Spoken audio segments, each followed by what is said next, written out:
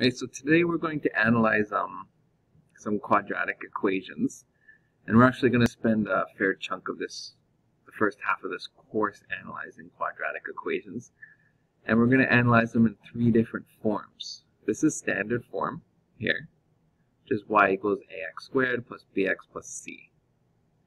Okay, we're not going to be doing that one yet, but we will get to it um, later in the course. What we're going to start with today is vertex form. It looks like this. We're going to analyze it and um, see what happens when we change the values for A, H, and K. Uh, same with factored or also called intercept form. That is one we will be we will be doing, but not today. We'll be doing it later in the course. So for the whole first chapter, um, we will be analyzing vertex form. So this is the sheet we're working on.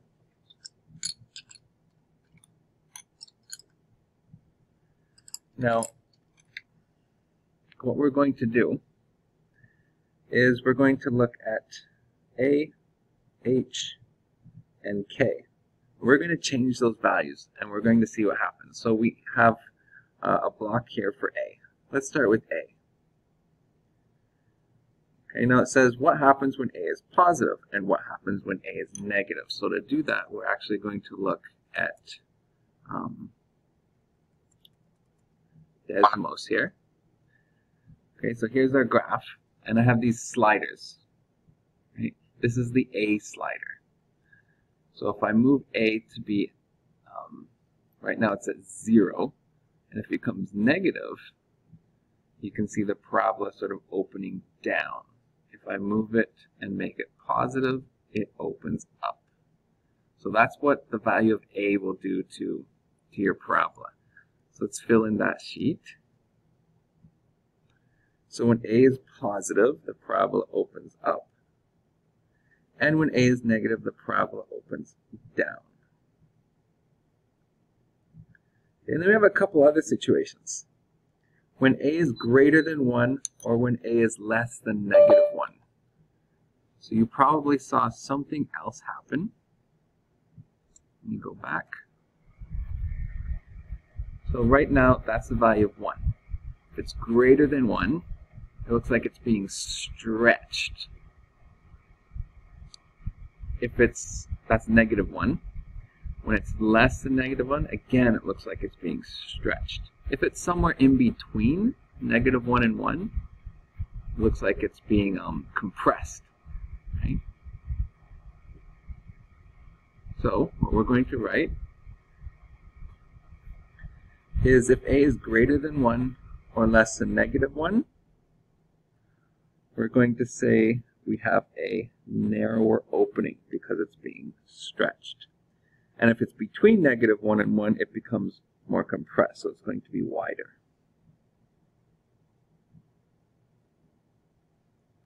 Right, so that's what happens um, when we change the value for A.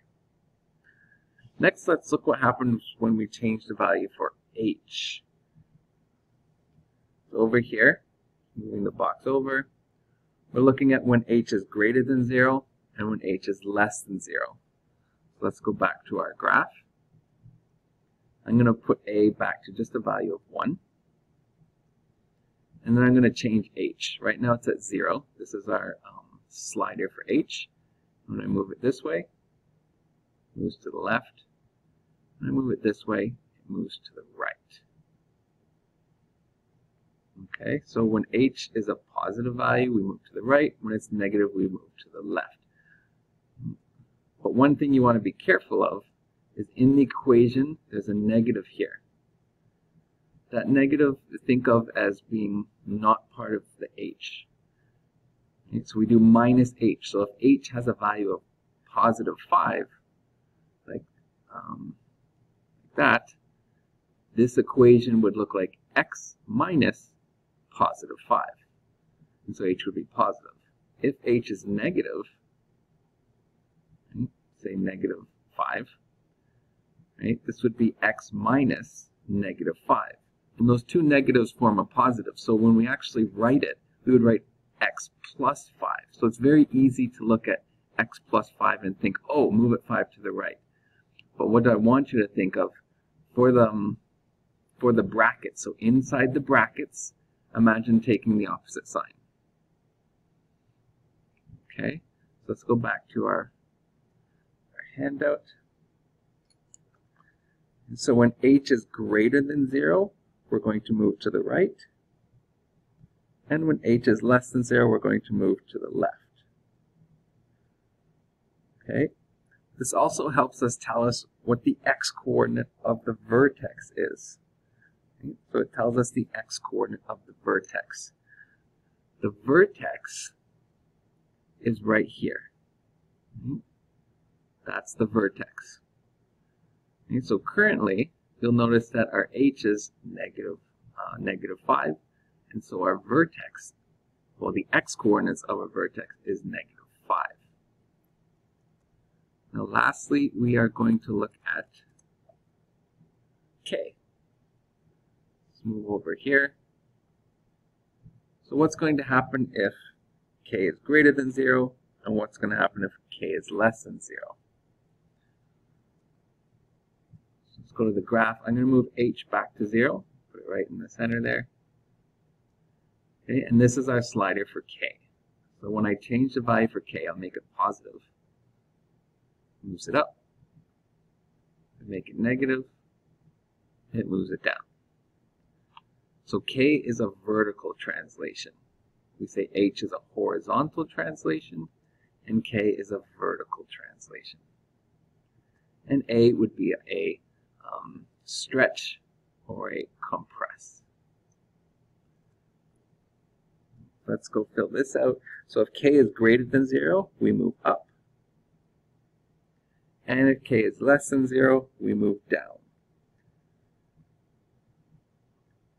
And since we move up and down, k is actually telling us the y-coordinate of our vertex. So let me just pause there, see how everyone's doing. So another thing we like to talk about is the x-intercepts. How many times does our parabola cross the x-axis? And we're going to look at three different cases. When k is 0, when k is greater than 0 and k is less than 0. So let's start when k equals 0. If we make k 0, you can see it comes down and just touches the x-axis. So it's only touching it in one location. So we're going to write if k equals 0, then the graph, the graph has 1, 0, or one x-intercept. Now let's look at when k is greater than 0.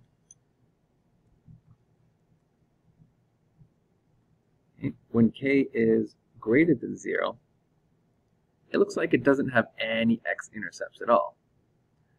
However, I could change the value of a and make a negative. Now you can see it crosses the x-intercept, sorry, the x-axis twice here and here. So if k is positive, it'll depend what a is see if you have any intercepts or not. So we're going to write if a is greater than 0, then there are no x-intercepts.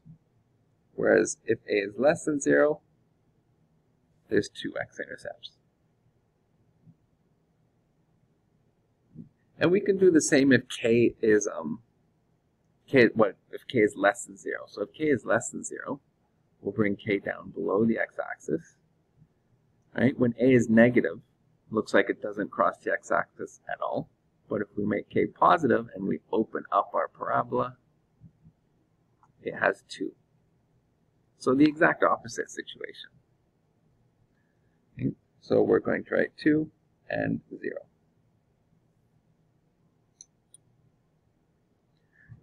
All right, so let's look at an example. Here we have an example. We have minus 2 times x minus 3 squared plus 5. Okay, let's type this into the um, equation to help us. So we have a, which is minus 2. So let's set it to minus 2. h, it says x minus 3. So remember, in the bracket, we're going to take the opposite sign. So we're going to set h equal to positive 3. And then k is plus 5. So I'll make it plus 5. So that's what our graph is going to look like. And we have to answer a few questions to describe that graph. So first, the direction of opening. The direction of opening is actually down. It opens down. And we can tell this by um, the value of A. Okay. All right, so you can tell that it opens down even without looking at um without looking at Desmos because the value of A is negative. If it's negative, it opens down. If it's positive, it opens up. So A is um, negative. So it opens down. Okay. Then we have um, a stretch or a compression. Okay. Well, again, we're going to look at the value of A. We look at the graph. You can see that compared to when it's a value of 1, when we make it a value of 2, it gets stretched. And that happens when A is less than negative 1 or greater than positive 1. So we are going to write that it is a stretch. Okay. Horizontal and vertical transformation. The horizontal comes from our h value. So we have h equal to, in this case, um, 3. Remember, take it the opposite sign for the one that's inside the bracket. So that means we're going to move to the right 3 units. For a vertical transformation, that's from our k value. And in this case, it equals 5. And since it's positive, we're moving up. So we're moving up 5 units. So you can see that in our Desmos. So we moved to the right 3 and up 5. And so that actually tells us exactly where our vertex is. That's our coordinates for our vertex, 3 and 5. So we can then write our coordinates for the vertex as 3 and 5. Okay, I'll just pause to let people catch up. Now, the number of x-intercepts. So if we look at our graph, it looks like it crosses the x-axis twice, here and here. And to determine that, you really need to know two things. One is the vertex above or below the x-axis, and that will that information is given to you by the value of k. And two, whether or not um, the graph opens up or opens down, and that'll be whether or not a is positive or negative. So in this case, it's above the x uh, above the x-axis, and it's opening down. And so we're getting two different um, intercepts.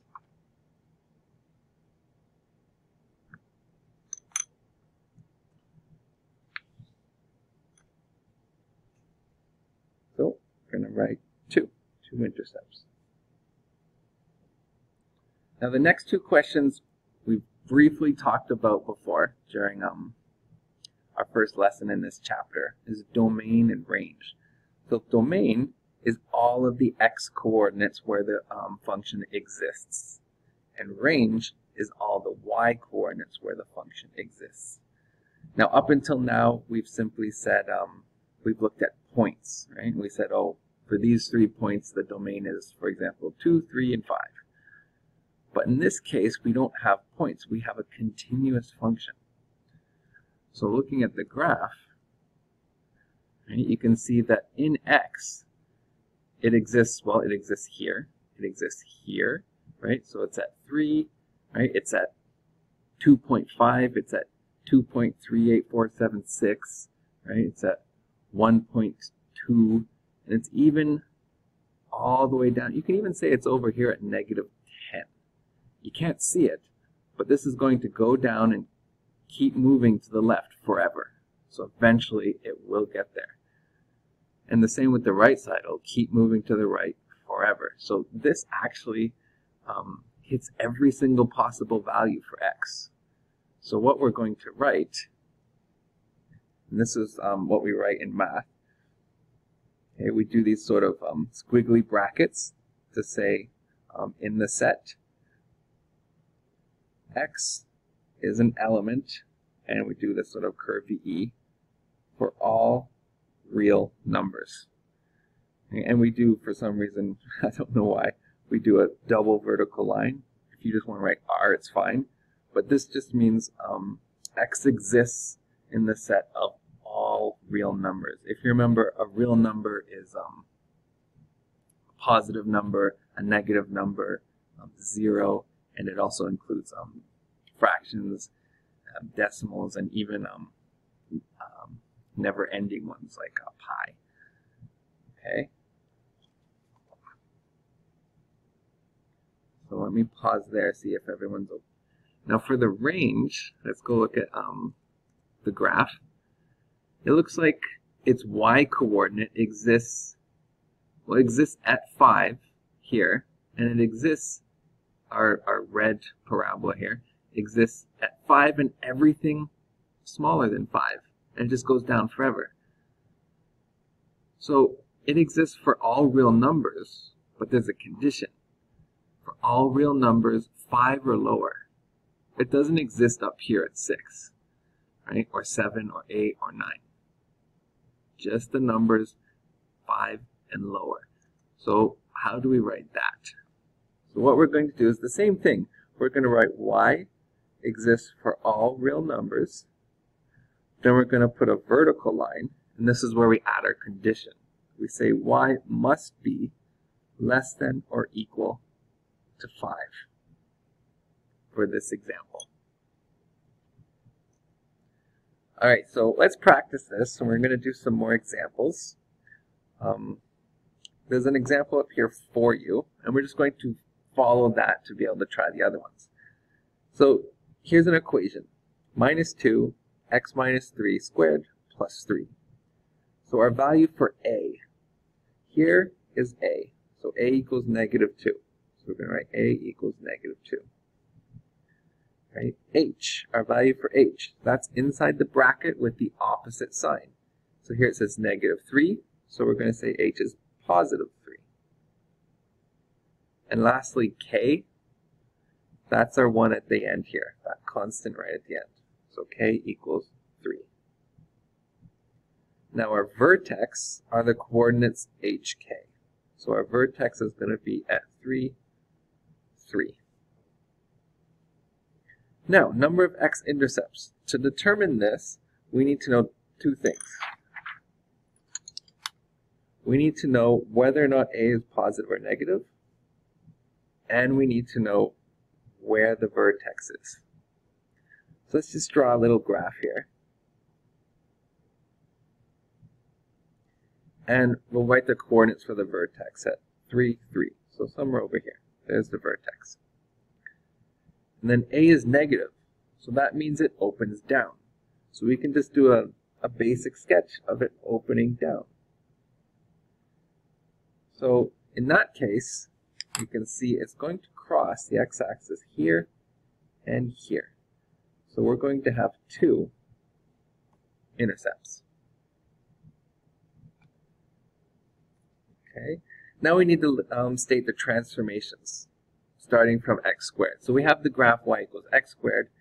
How do we change that graph? What did we do to y equals x squared to turn it, to turn it into this? Well, first, a did something. A either stretched it or compressed it. Okay? In this case, since it's um, less than negative 1, or if it were greater than positive 1, it's a stretch. So we are going to be stretching it by a factor of 2. So by 2. being lazy with my writing. I should write by a factor. Don't be lazy. By a factor of 2. Okay. And then we need to know has it moved left or right and has it moved up or down. H will tell us if it's moved left or right. If it's positive, it's to the right. So, right 3 units. And then we have K, which tells us um, whether or not it's moved up or down. Since it's positive, we're moving up. 3 units. So those are our transformations. Now our domain, if it helps, for every quadratic we're going to do, the answer for the domain is the exact same. It exists for all real values. It's the range that you have to um, take a minute to think about. But again, you'll always start it the same way. We're going to write it exists for all real values. But what we have to figure out is the condition. So right here is our vertex, which is 3, 3. So our y-coordinate then is at 3. So the graph exists at 3, and for everything below 3, nothing above 3. So that's our condition. y must be 3 or lower. So in math, we write y is less than or equal to 3. I'm just going to... All right, so let's do one more. For this one, our value for a is a half, so a equals 1 half. Our value for h is in the bracket with the opposite sign. So this is positive 1, so h is going to be negative 1. And our k is this constant stuck on the end here, so k equals 5. Our vertex is just the values for hk, which is negative 1 and 5. So our vertex exists at negative 1 and 5. Now to figure out the number of x-intercepts, let's just do a quick sketch. We'll find our vertex, which is negative 1 and 5, somewhere over here. And then because A is positive, it opens up like that. Which means it never touches the x-intercept. So 0 x-intercepts. Then we are going to figure out what the translations are. First, do we stretch or do we compress? In this case, because the number is between negative 1 and positive 1, it's a compression. So we're going to write compression, and it's a vertical compression. That's important. In this course, we're not going to talk about horizontal compressions or stretches. We're only going to talk about vertical compressions or stretches. So again, I should not be lazy, and I should write vertical. So vertical compression by a factor of one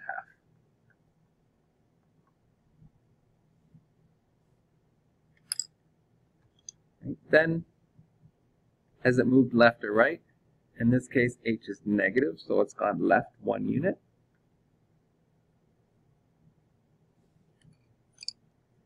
And k is positive, so we've gone up 5 units. Our domain, it exists everywhere to the left and everywhere to the right. So like every other example we're going to do in this course, our domain is XER. All real. Our range, again, you'll start at the same. It's all real values for Y, but what we need to figure out is what the condition is. So here is our vertex at the y coordinate 5. And it looks like it's greater than that, but not less than that. So it can equal 5 and everything above 5. So we're going to write y must be greater than or equal to 5. I'm going to stop it there.